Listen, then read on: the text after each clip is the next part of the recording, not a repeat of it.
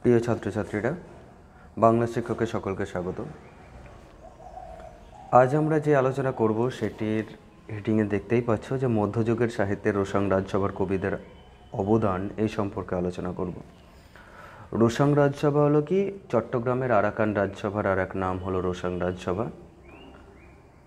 তবে রোসাং রাজসভার কবিদের অবদান আলোচনা করতে গিয়ে আমরা মুসলমানি সাহিত্যের বা মুসলমান কবিদের যে সাহিত্য চর্চা, সে সম্পর্কে সামান্য একটুখানি কথা বলে নিই।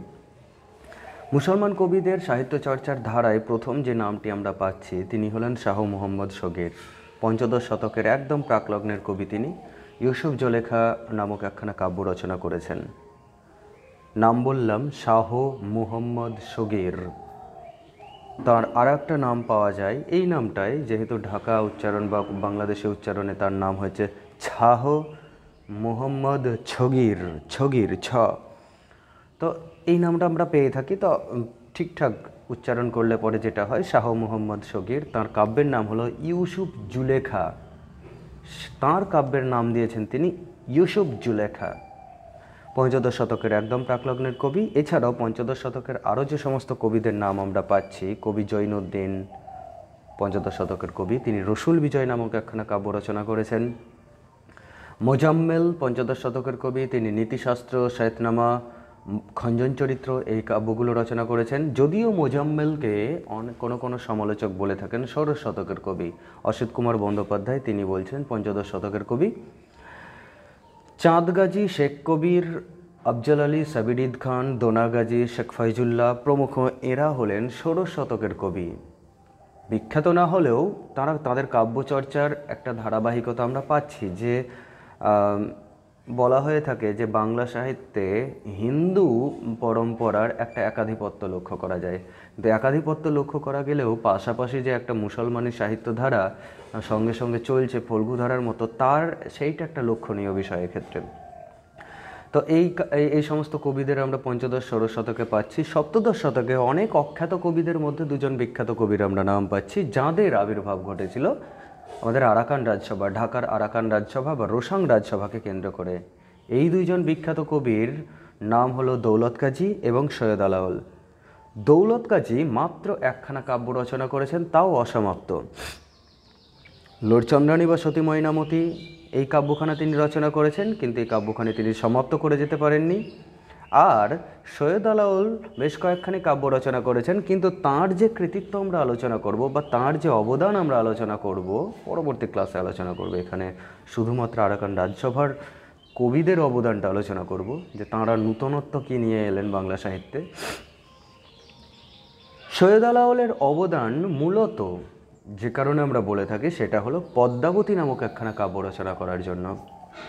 অনুবাদ সাহিত্য, অবশ্যই অনুবাদ। ধরনের সাহিত্য, কিন্তু আবার মৌলিক সাহিত্যও বটে। এছাড়াও তিনি রচনা করেছেন দৌলত কাজীর কাব্যেরটি শেষ করেছিলেন, দৌলত কাজীর শেষাংশ, এই সরি লোরচন্দ্রানীর শেষাংশ, সাইফুল মুলুক বদিউজ্জামাল সপ্তপৈকর বা হপ্তপৈকর, তোহফা আর সেকেন্দার নামা এই কাব্যগুলো তিনি রচনা করেছেন এবং সবগুলোই তার অনুবাদ সাহিত্য। অনুবাদ ধরনের রচনা। কারণ প্রত্যেকটা কাব্যের মূল আমরা পাই যেহেতু অন্য কোনো লেখকের নামে, সেখানে তিনি কাহিনী রচনা করেছেন। যাক, এবার আমাদের আলোচ্য বিষয় হলো যে মধ্যযুগের বাংলা সাহিত্যে আরাকান রাজসভার কবিরা কতখানি অভিনবত্ব নিয়ে এলেন বা কী কারণে তাদের আমরা আলোচনা করব? মুসলমানি সাহিত্য চর্চা তো চলছে সেই পঞ্চদশ শতকের প্রাকলগ্ন থেকেই। কিন্তু আজ আমরা সপ্তদশ শতাব্দীতে এসে কেন এই মুসলমান কবিদের নাম আলাদাভাবে উল্লেখ করে আলোচনা করব। সেই গুরুত্বটা আলোচনা করব। কাজটা মন দিয়ে শুনবে। শেষ পর্যন্ত। কারণ এটা খুব ইম্পর্ট্যান্ট একটা কোশ্চেন এক নম্বর পয়েন্টে যদি বলা যায়, তারা বিষয়বস্তুর ক্ষেত্রে নূতনত্ব নিয়ে এলেন। বিষয়বস্তু ভাবনা চিন্তা ভাবনা চিন্তায় নূতনত্ব, কীরকম? বলবে যে স্যার, দৌলত কাজী তো সরি সৈয়দ আলাউল তো তিনি তো পদ্মাবতী নামে যে কাব্যখানা রচনা করেছেন, সেটা তো অনুবাদ সাহিত্য। এতে আর নতুন কি? অবশ্যই অনুবাদ সাহিত্য, কিন্তু অনুবাদ সাহিত্যটা তো আজকে নয়। ঠিক একশো বছর আগে অন্য কোনো একজন, মালিক মোহাম্মদ জায়সী, তার পদ- পদুমাবাদ নামক একখানা কাব্য ছিল। একশো বছর আগে, একশো বছর আগে যখন এই কাব্যখানা রচিত হয়েছে, অন্য কোনো মুসলমান কবিরাও তো রচনা করতে পারতেন বা হিন্দু কবিরাও তো রচনা করতে পারতেন। কিন্তু তা রচিত হয়নি। এখানে আমরা প্রথম দেখতে পাচ্ছি যে এই ভদ্রলোকই রচনা করছেন পদ্মাবতী নামক কাব্যখানার। বিষয়বস্তু নূতনত্ব কোথায়? মধ্যযুগের সমগ্র হিন্দু সাহিত্য তথা মুসলমান সাহিত্যের দিকে যদি আমরা দৃষ্টিপাত করি, দেখতে পাবো যে সেখানে ধর্মচর্চার একটা ইতিহাস চলছে। হিন্দু সাহিত্যের মধ্যে আমরা দেখতে পাচ্ছি, অনুবাদ সাহিত্য বলো, মঙ্গল কাব্য বলো বৈষ্ণব পদাবলী বলো যা কিছু আছে, যত কিছু আছে, এমনকি মহাপ্রভু শ্রী চৈতন্যদেবের জীবনী সাহিত্য যেটা, সেটাও মানবকেন্দ্রিক সাহিত্য হওয়া সত্ত্বেও দেব দেব নির্ভর হয়ে পড়েছে। সেখানে চৈতন্যদেবের মানবিক অস্তিত্ব নেই, সেখানে তিনি দেবতা হয়ে গিয়েছেন। তো বোঝাই যাচ্ছে যে, মধ্যযুগের সমগ্র সাহিত্যটা ছিল দেবকেন্দ্রিক দেবতা কেন্দ্রিক সেখানে এই দুই ভদ্রলোক যে দুখানা কাব্য রচনা করলেন, সেখানে মানবতার জয়গান গাওয়া হলো, মানুষের কথা বলা হলো। অতএব এই দিক থেকে তাদের কাব্যটা একটা বিশেষ গুরুত্বপূর্ণ। তাহলে এক নম্বর চলে গেল, দেবপ্রীতির স্থানে মানবপ্রীতির আগমন ঘটলো। হলো? আর দুই নম্বর বললেন যে বিষয়বস্তুর নূতনত্ব, বিষয়বস্তুর ক্ষেত্রে তারা, বিষয়বস্তু নির্বাচনের ক্ষেত্রে কোনো না কোনো দেবতাকে তারা নিতে পারতেনই। দেবকাহিনীকে নিতে পারতেনি। দৌলত কাজীর কাব্যখানি এতখানি উৎকৃষ্ট মানের কাব্য যে তিনি যেখানেই হাত ঠেকাতেন, সেখানেই হয়তো শোনা ফলতো। কিন্তু তিনি বেছে নিয়েছেন এমন একটা কাহিনী যেটা মানব গাথার বা মানব জীবনের জয়গান গাইছে, মানব প্রেমের জয়গান গাইছে। মানুষের প্রেম সম্পর্কের কথা নিয়ে আলোচনা হয়েছে। হলো দুটো হলো, এবার তিন নম্বরে যদি বলা যায় যে হিন্দুদের একচ্ছত্র প্রতিরোধ কাটিয়ে বাংলা সাহিত্য সর্বস্তরের হয়ে ওঠে। অবশ্যই পঞ্চদশ শতকের প্রাকলগ্ন থেকে শাহ মোহাম্মদ শগীর, কবি জৈনুদ্দিন মোজাম্মেল প্রমুখদের হাত ধরে বাংলা সাহিত্য, মুসলমানি সাহিত্য সাহিত্যের পরম্পরা রক্ষা করে এসেছে। অবশ্যই এটা মানতেই হবে। ইউসুফ জলেখাও একটা প্রেম কাব্য, মুসলমানি প্রেম কাব্য। ইউসুফ জলেখার কাহিনী অসাধারণ একটা প্রেম কাহিনী মুসলমানি সমাজে। প্রচলিত। কিন্তু তথাপি যে যে কথাটা আমরা এখন বলব যে, হিন্দুদের একচ্ছত্র প্রতিরোধ, যে তুলনায় হিন্দু সাহিত্যের বারবারন্ত দেখা যাচ্ছে, বারবার আমরা হিন্দু মুসলমান এই শব্দগুলো উচ্চারণ করছি, তার মানে সেটাকে অন্যভাবে নেওয়া যাবে না, কারণ এখানে আমরা এই আলোচনা করতে গিয়ে এটা অবশ্য অপরিহার্য। হিন্দুদের যে তুলনায় সাহিত্য চর্চিত হয়েছে, রচিত হয়েছে, যেমন দেখো চর্যাপদ বাদ দিতে হবে, সেটা আদি যুগের রচনা। মধ্যযুগের সাহিত্যের মধ্যে শ্রীকৃষ্ণ কীর্তন, মঙ্গল কাব্যগুলো। মঙ্গল কাব্যের মধ্যে আবার মনসা, ধর্ম, চণ্ডী আরও অনেক বিভিন্ন রকমের কাব্য মঙ্গল কাব্য আছে। এগুলো বিখ্যাত। তারপর অনুবাদ সাহিত্যের ধারা আছে, বৈষ্ণব সাহিত্যের ধারা আছে। অবশ্য বৈষ্ণব সাহিত্যের মধ্যে মুসলমান কবিদের নাম পাওয়া যায়। তথাপি মেন ধারাটা কিন্তু মুসলমান নয়, হিন্দু ধারার, হিন্দু কবিদের সাথে সম্পৃক্ত। জীবনী সাহিত্য আছে, সেখানেও হিন্দু কবিদেরই রচনা আমরা দেখতে পাচ্ছি। বৃন্দাবন দাস কৃষ্ণদাস কবিরাজ জয়ানন্দ, এই সমস্ত কবিদের নাম আমরা পাচ্ছি। তো মধ্যযুগের সমগ্র সাহিত্যটাই কিন্তু হিন্দু সাহিত্যের উপর বেস করেছিল। এবার সেইখানে এই দুইজন কবি আগেও অনেক কবিতা কবিরা কাব্য রচনা করেছেন, কিন্তু এই দুইজন কবি এমন কিছু কাব্য রচনা করলেন যে দুটোকে আর নাকচ করা গেল না, যে দুটোকে দেখেও আর না দেখা করা গেল না। তাঁরা এই রকম, আমাকে দেখতে হবে, এই দৃঢ়তা নিয়ে এলেন বাংলা সাহিত্যের ক্ষেত্রে। অতএব এতকাল মুসলমানই সাহিত্য চর্চা ছিল, তাঁদেরই শুধুমাত্র যেন সমাজের মধ্যে আবদ্ধ। এই প্রথম সাহিত্য চর্চা হলো যেখানে না। হিন্দুরাও সেই কাব্য পড়তে বাধ্য হবে বা হিন্দুরাও অন্ততপক্ষে আগ্রহ ভরে সেই কাব্যটা একবার শুনে দেখবে। এই দিক থেকে অর্থাৎ হিন্দুদের একচ্ছত্র যে প্রতিরোধ ছিল, সেই প্রতিরোধ ব্যবস্থাটা কাটিয়ে বাংলা সাহিত্য সর্বস্তরের জন্য খুলে গেল। কারণ যখন আমরা দেখব যে দৌল লোরচন্দ্রানী কাব্যখানি শুরু হচ্ছে বা লোরচন্দ্রানী কাব্যখানির বিষয়বস্তুর দিকে যদি তাকাই, বিষয়বস্তুটা হিন্দুর।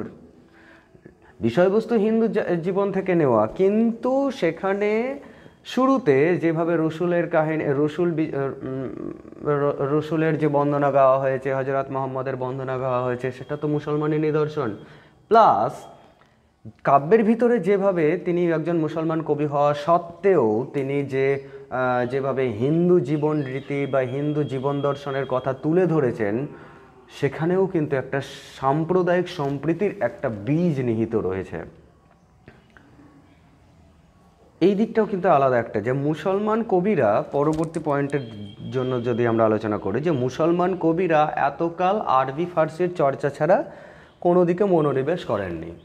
আরবি ফার্সির চর্চা করছেন, রসুল বিজয়, নীতিশাস্ত্র সায়তনামা খঞ্জন চরিত্র ইউসুফ জলেখাও আরবি ফার্সি কাব্য ফার্সি কাব্য এই সমস্ত তারা আরবি ফার্সির চর্চা করছেন? কিন্তু এই প্রথম তারা আরবি ফার্সির চর্চা ছেড়ে দিয়ে গভীরভাবে বাংলা সাহিত্যে মনোনিবেশ করলেন। এটা কিন্তু একটা বেশ গুরুত্বপূর্ণ বিষয়। মুসলমান কবি হওয়া সত্ত্বেও, পরের পয়েন্টে যদি যাই, মুসলমান কবি হয়েও যে ভাবে তারা, একটু আগে বললাম, যেভাবে তারা ব্যাপক হিন্দু জীবন চর্চার চিত্রটাকে তুলে ধরেছেন যেভাবে যেভাবে আমরা দেখতে পাবো পদ্মাবতী কাব্যে যে পদ্মাবতীর জীবনচিত্র বা সতী ময়নামতিতে ময়নামতির যে জীবনচিত্র বা রত্ন সেন রত্ন সেনের কাহিনী, জীবন কাহিনী চন্দ্রাণীর কাহিনী, বামনের সাথে তার প্রেমের সম্পর্ক সরি চন্দ্রাণীর সাথে লোরের যে প্রেমের সম্পর্ক, বামনের যে প্রতিরোধ বিবাহ দৃশ্য ইত্যাদি যে সমস্ত কাহিনীগুলো আছে, সেখানে যেভাবে তিনি হিন্দু রীতিনীতি, সমাজচিত্রকে তিনি যেভাবে প্রতিফলিত করেছেন, তাতে কখনোই বলে না দিলে বোঝা যাবে না যে এই ভদ্রলোক হিন্দু সমাজের বাইরের কোনো একজন মানুষ। খুব ভালোভাবেই বোঝা যায় যে তিনি হিন্দু সমাজের সাথে খুব ওতপ্রোতভাবে, তাঁরা ওতপ্রোতভাবে জড়িত ছিলেন। বিভেদের কোনো প্রকার বিষবাষ্প সেখানে ছিল না। সেখানে একটা সম্প্রীতির একটা মেলবন্ধন লক্ষ্য করা যায়। এবং আরও একটা বিষয় যে আরাকান রাজসভার বৌদ্ধ রাজারা এই কাব্য শুনছেন। এই দিকটাও কিন্তু একটা সম্প্রীতির বিষয়। লিখছেন একজন মুসলমান কবি, বিষয়বস্তু হিন্দু সমাজকেন্দ্রিক আর পৃষ্ঠপোষকতা করছেন কোনো মুসলমান বা কোনো বৌদ্ধ রাজকর্মচারী। ঠিক আছে? তো এই যে একটা ত্রি মানে তিন ধর্মের ত্রিবেণী সঙ্গম ঘটছে, এক্ষেত্রেও কিন্তু আরাকান রাজসভাদের অবদান আছে। আরাকান রাজসভার সমস্ত সাহিত্যিক গোষ্ঠী প্লাস পৃষ্ঠপোষক গোষ্ঠীর অবদান অপরিসীম। ঠিক আছে? পরের যদি এতে যায় আলোচনায় যায় যে হিন্দু সাহিত্যের গতানুগতিকতা থেকে মুক্তি প্রদান করলেন। গতানুগতিকতা বলতে এতকাল হিন্দুরা করছেন কি? শুধুমাত্র সব ক্ষেত্রে সব ক্ষেত্রে চৈতন্যদেব একজন জলজান্ত মানুষ, রক্তমাংসের মানুষ, তাকে পর্যন্ত তারা দেবতা বানিয়ে দিয়েছেন। তো সমস্ত ক্ষেত্রেই এই দেবতা, সকলেই দেবতা, দেবতার স্বপ্নাদেশ, দেবতার ব্যাপার, দেবতার কাহিনী, দেবতার অলৌকিকতা, এই সমস্ত কাহিনীকে চলেই আসছে, একটা যেন মানে কাহিনী চলে আসছে, বাংলা সিরিয়ালে যেরকম হয় আর কি, যে একই কাহিনী বারবার ঘুরিয়ে ফিরিয়ে নাম পাল্টে পাল্টে চলছে আর কি। তো এই হিন্দু সাহিত্যের ক্ষেত্রেও যেন এই রকম চলছে, গতানুগতিক হিন্দুদের মধ্যে চলছে ওই দেবতা থাকবে, আর পূজা প্রচার করবে না, মঙ্গল কাব্যের যেরকম কাহিনীর মধ্যে আমরা দেখতে পাচ্ছি যে পূজা প্রচার করবে না, দেবতা থাকবে আর পূজা প্রচারের জন্য স্বর্গ থেকে একজন আসবে, অভিশপ্ত হয়ে তিনি এসে বিভিন্ন প্রতিকূলতার মধ্য দিয়ে পূজা প্রচার করবেন। পূজা প্রচার হয়ে যাবে, তারপর তিনি এবার স্বর্গে চলে যাবেন। এই কাহিনী, এই যে গতানুগতিক কাহিনী, দেব সমাজের কাহিনী, আলাদা অবশ্যই আছে, কিন্তু প্রত্যেকটা কাহিনীর প্রধান বিষয়বস্তুর মধ্যে চলে আসছে দেবতা এবং দেবতার অলৌকিকতা। বৈষ্ণব পদাবলী সেক্ষেত্রে অনেকাংশে আলাদা, কিন্তু তথাপি সেখানেও তো দেবতারই কাহিনী আছে।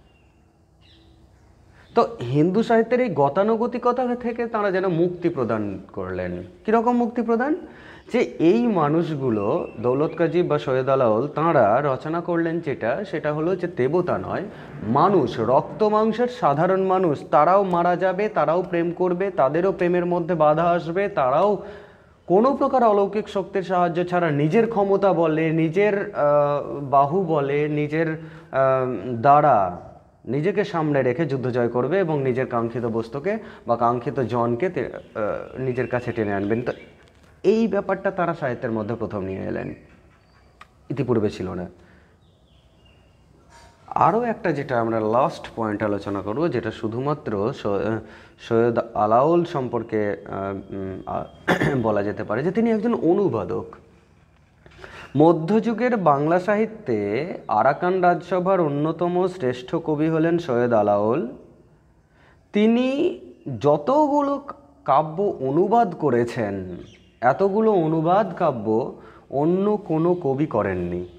অর্থাৎ অনুবাদক হিসেবে এই মানুষটার কৃতিত্ব কিন্তু অসাধারণ এবং তার যে অনুবাদ শুধুমাত্র যে সাধারণ, নিরস অনুবাদের মধ্যে সীমাবদ্ধতা কিন্তু নয়, তার অনুবাদ মৌলিক সাহিত্যের দাবিদার।